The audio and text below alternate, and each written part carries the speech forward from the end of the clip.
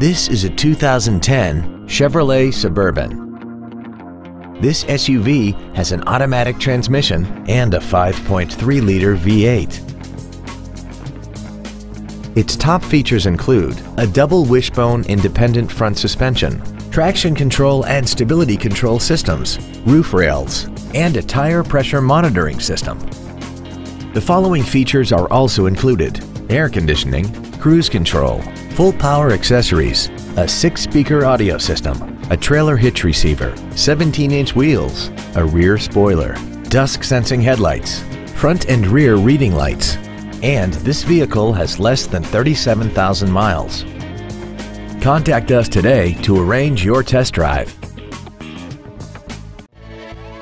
Corning Ford is dedicated to doing everything possible to ensure that the experience you have selecting your next vehicle is as pleasant as possible. We're located at 2280 Short Drive in Corning. Get the best price the first time from our internet sales department and get one step closer to your next vehicle.